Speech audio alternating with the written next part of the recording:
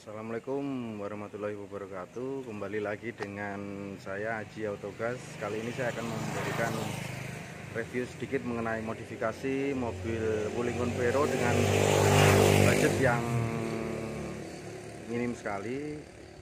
Ikuti dan saksikan.